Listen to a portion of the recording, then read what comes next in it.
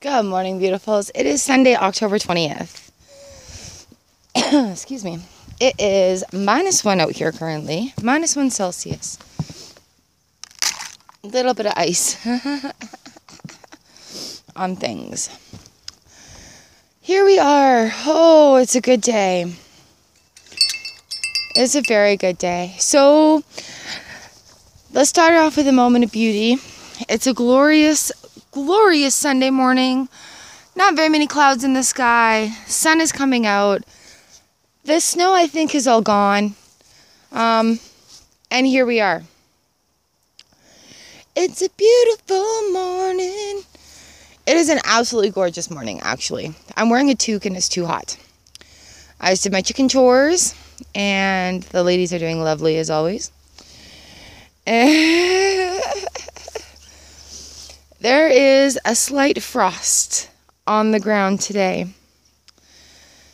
So, good morning. Happy Sunday. Do you see what I see? I see a shadow that gets to wave to everybody. Hello. Good morning. Um, okay, so it's a beautiful morning. I am going to babble about gratitude. Get the, the little birdies their water free. I'm going to babble about gratitude. I had an experience last night. And um, gratitude and pride. Let's talk about that. Um, so, last night was my son's pre wedding social, which means that they got to have a huge party to raise funds for the wedding. And um, it's just, it's a thing that happens in Manitoba and Saskatchewan it's called a pre-wedding social, and you like you get together, everybody drinks, eats at like 10 o'clock or midnight, has a good time, and then we're good, right? So the kids asked me if I could bartend, which I don't have a problem with. I'm a good bartender. I have my license. It's good. Good morning, Featherstone. Um, I think I need to move Featherstone. I like looking at him out the window, but you can't see him. Um, so they had a live band come in last night, and it was a really good time. The food went over well. The music was decent. Um, oops, I've never heard of this man before, Ernest Monias. Um, he's very, he's the Elvis of the North, I guess. He's very popular. He's got a big, big following of the ladies. He's a little suave and had all the cookums getting excited. Cookum is grandma, like an, an elder, a grandma, and I believe it's in Ojibwe. So that's like his taglines. Tell the cookums I'm coming. So he's that kind of very good performer. The band was great. Um, holy crap, can my kid throw a party? My kids. Um, it was awesome working with the bride to be's mom and getting to know her a little bit better. The kids have been together for like two years. And my gratitude here is this young lady that my son is marrying has been through him through his hardest time in his life so far. She stuck by his side through his really bad depression phase. Um, so I'm so grateful for her.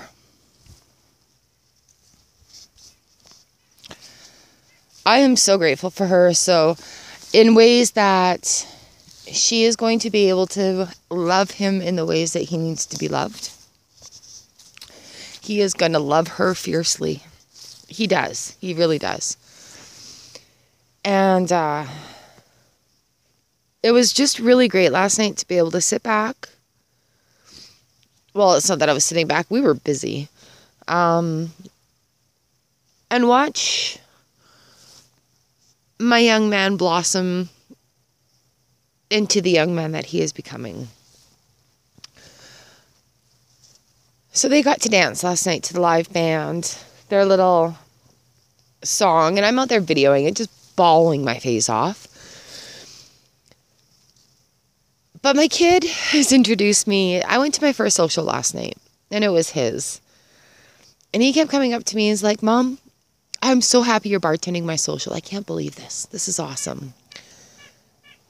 And I used to work in a bar for a very long time. So, like, my kids grew up in the industry.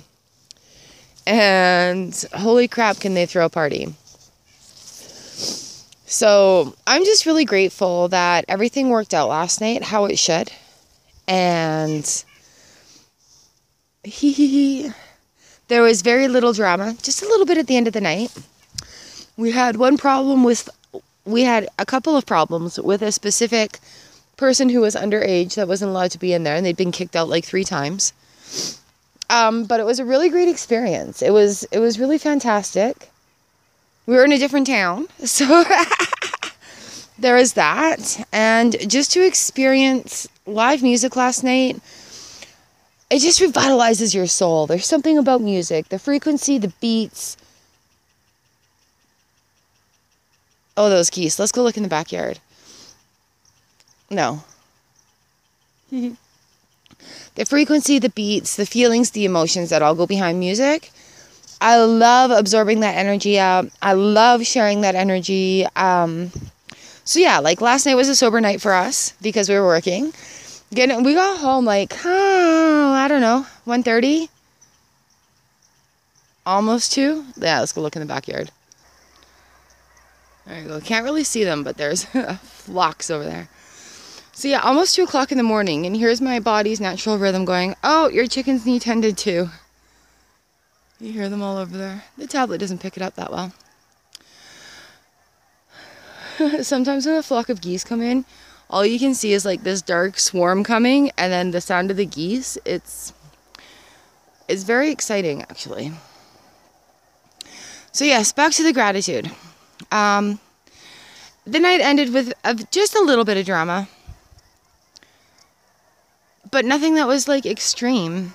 So it was really, really, really awesome to be there last night. And I'm just really grateful for the opportunities that these kids have. I'm really grateful for the life that they have ahead of them. And I'm really grateful to be a part of that. And we're, uh, the bride to be was a little hammered last night. Um, she's just like, Char, I love you. And I'm like, I love you too.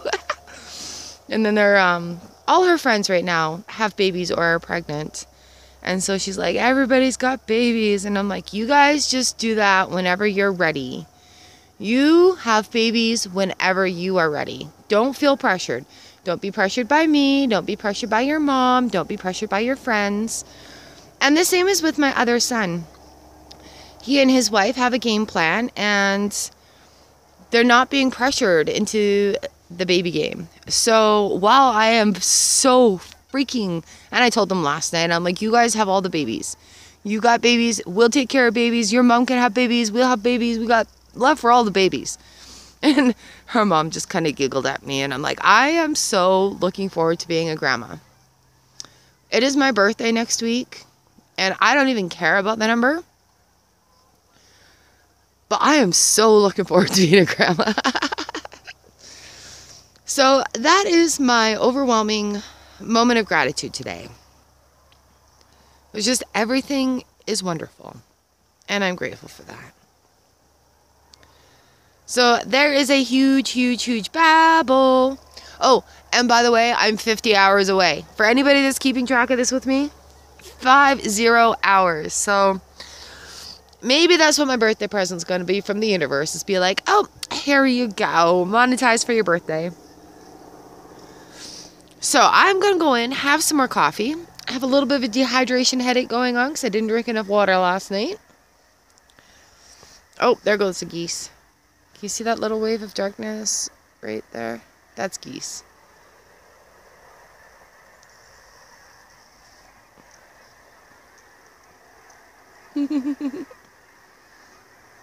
Somebody says silly goose, they're actually pretty smart.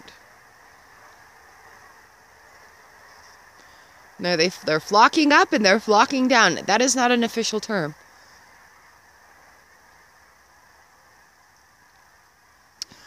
All right, you guys, I am going to go and have coffee.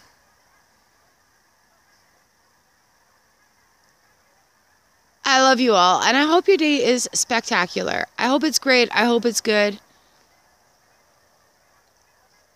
I hope it's good for you.